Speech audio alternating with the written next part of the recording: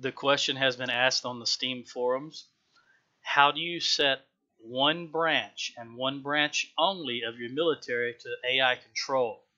Now, I've got various videos up that deal with the rules of engagement and toggling AI control on and off, but this is a specific question. It's not only how do you do that, but how do you do it for future and present units? See, that's the kicker. Because under the rules of engagement, you can change it. You can change it to apply to all and apply it to only new. What this individual would like to do is control manually the land forces and the air forces and allow the AI to control his navy. Now, the manual does not really, the PDF that comes with the game, I could really find nothing that said this is how to do that. I searched the BattleGoat forums, uh, BattleGoat being the developers of the game, I really cannot find anything that says this is the way you do it, but I believe I have found a way. If there's a better way, I don't know it yet, and maybe someone will tell me.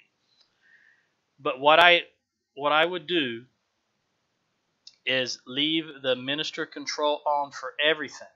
However, go into the cabinet, the defense department, the cabinet minister, and turn the initiative to none for land and air and turn the initiative to full for the Navy.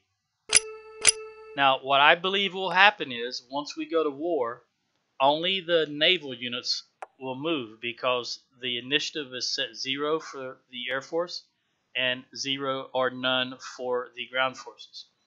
Let's give it a try. I'm going to declare war on North Korea and start the game. Now you can see immediately they our Navy starts moving, but our land forces do not move at all. Now, just to hit home that point, I'm going to set some hotspots, okay?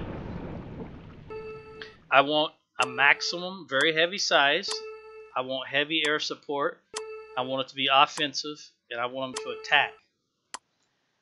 I'm going to set a hotspot on something very simple right here on on that town. And normally your your ground forces and air forces would move to attack that area. Let's see. Okay, again, they're not moving at all. Just the naval units. Now, what happens if we change the initiative to high for ground? Ah, see now the ground units start moving. So essentially, leave the global rules of engagement to minister control However, turn off whichever branch you want to manually control, set it to none, initiative. I hope that answers your question. If you have a, another question, feel free to ask.